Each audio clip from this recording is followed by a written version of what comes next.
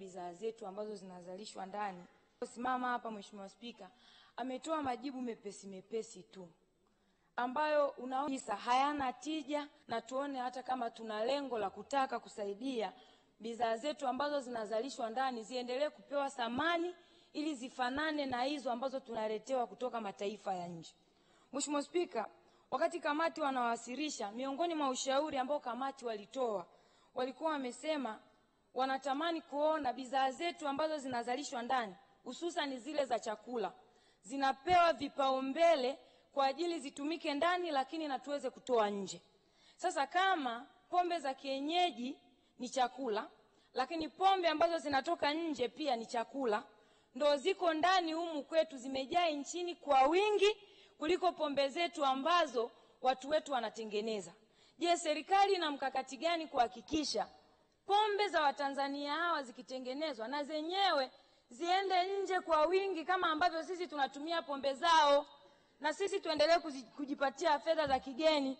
Mimi nategemea Mheshimiwa Waziri atasema kwamba tutaanza kufanya utafiti na watu ambao wanahusika na utafiti ili watusaidie hata namna ya kuifanya gongo iwe halali kwa ajili ya kutoa ile methanol ambayo iko kwenye gongo, lakini pia labda waje na mkakati kama ambavyo Mheshimiwa Waziri wa Kilimo naye amekuja Mheshimiwa Mheshimiwa Condestas Chalwe, hoja yako ni nini unayotaka Hoja yangu ni kwamba Mheshimiwa Spika, Mheshimiwa Waziri bado hajajikomiti kuona kweli anataka kuboresha pombe za kienyeji ziweze kufanana na pombe ambazo tunaingiziwa kutoka mataifa ya mbali. Kama ni ndivyo. Basi na pombe zinazotoka huko zizuiliwe kuingia nchini kwetu. Naomba ufafanuzi. Nisiporidhika, nimekusudia kukamata shilingi yake. Mheshimiwa Naibu Waziri, ufafanuzi. Nakushukuru sana Mheshimiwa eh, Mwenyekiti. Ah, naomba kwa sababu hoja hii ni mara ya pili kama alivyosema mtoa hoja, na kwa niaba ya waziri nitoe ufafanuzi kidogo wa kina kuhusiana na swala hili. Mheshimiwa Mwenyekiti, kama nilivyosema, serikali imesha eh, tuko kwenye maandalizi kwanza ya kuwa na, na, na, na, na, na, na sera ya taifa ya ushiriki wa Tanzania katika e, katika kuendeleza uchumi kwa maana ya content. Lakini pili, kwenye swala hili la pombe, Mheshimiwa Mwenyekiti, e, kama nilivyosema mwanzo kwa mujibu wa viwango vya pombe kali, pombe kali inapaswa kuwa na e, e, ethanol kuanzia asilimia 37 mwaka 42 e, na hii haipaswi kuwa na kiwango kikubwa kwa sababu zina madhara ya kiafya. Moja, ikiwa zaidi hapo inasababisha upofu, lakini pili, inaweza kupelekea e, hata kifo. Lakini sisi kama serikali tumeshaanza kufanya kazi ya ziada kuhakikisha tunahamasisha sasa uzalishaji wa pombe hizi zifikie viwango, na hili kupitia shirika letu la viwango e, vya ubora wa pombe za kienyeji ni kama ifuatavyo. Kiwango e, ambacho kimeshawekwa e, nilisema mwanzo e, moja ya pombe ambazo zimeshahalalishwa ni zile zinazotokana na rozera, zinazotokana na ulanzi, lakini pia pombe zinazotokana na nafaka, mfano pombe zitokanazo na ndizi e, ambazo e, nilisema ile rubisi e, kule, kule, kule Kagera tayari imeshapata e, kupitishwa, lakini na zingine zinatumia matunda na mizizi.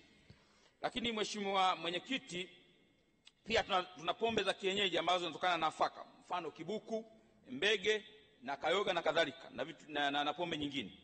Mheshimiwa Mwenyekiti, pamoja na kuto kukidhi mahitaji mengine kwa mujibu wa viwango, pombe hizi zinazozalishwa kwa njia zisizo halali kwa maana ya, ya, ya, ya teknolojia inayotakiwa eh, kuna kiwango cha juu sana cha ethanol na methanol ambayo hiyo huhatarisha eh, afya kama nilivyosema kwa Sawa, Mheshimiwa Naibu Naibu Kwa hiyo serikali kwa Naibu sasa Waziri, hoja nafikiri ni kwamba wale watu wanaotengeneza ile ile teknolojia wanayoitumia, serikali ina mpango gani wa kuboresha ile teknolojia kule kule waliko, ili ile pombe wanayoizalisha isiwe na hiyo sumu ama isiwe na viwango vikubwa ambavyo vinaleta athari. Ndio hoja iliyopo mezani. Nakushukuru mwenyekiti. E, nitoe taarifa e, katika bunge lako tukufu kwamba wizara kupitia SIDO, na TBS e, hadi kufikia e, Oktoba mwaka 2022 tumetoa leseni jumla ya 43 e, za ubora kwa bidhaa mbalimbali za pombe za kienyeji. Tumeshaanza hatua na tuna maombi mengine mapya kama ishirini na mbili ambayo katuka, katika hatua mbalimbali kuelekea kupata ithibati ya ubora. Kwa hiyo tumeshaanza kuwasaidia huko kwa wazalishaji ambao wanazalisha eh, bidhaa hizi au vinywaji hivi kwa njia ya, ya, kienyeji. Kwa hiyo serikali tunahakikisha kupitia shirika letu la viwango Tanzania itaendelea kutengeneza viwango vya pombe za kienyeji kwa kadri ya mahitaji yatakavyojitokeza. Lakini Mheshimiwa Mwenyekiti, napenda ni- na nilihakikishie bunge lako tukufu kwamba serikali tunatambua jitihada mbalimbali za wazalishaji ambao wanazalisha eh, na kujikwamua kiuchumi kupitia kupitia eh, eh, eh, pombe za kienyeji.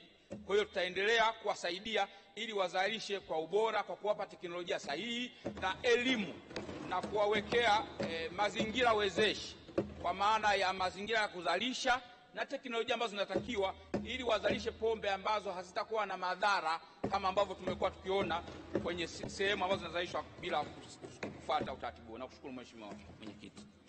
Asante uh, sana. Uh, Mheshimiwa Condesta naona ameketi, kwa hivyo ameridhika na majibu. Mheshimiwa Waziri, kwa sababu naibu waziri na waziri, kwa sababu hoja hii imesharejea hapa mara kadhaa, nadhani hicho ulichosema hapo mwishoni kwamba mtawapelekea teknolojia, lakini sasa pia mfanye utafiti, kwa sababu katika bajeti hii tunayopitisha leo sioni kiasi kikubwa cha pesa cha kuweza kuwawezesha nyinyi kuwasaidia wale wote wenye huo uhitaji. Kwa hiyo kinachohitajika ni ile teknolojia wanayoitumia wao, wafanye utafiti hao wanaohusika, hao wa TBS sijui na nani, namna ya kuvishusha vile viwango ile ile teknolojia anayoitumia yeye mwenyewe, maadamu inachozalisha ni pombe na inalevya, ipunguze kile kiasi.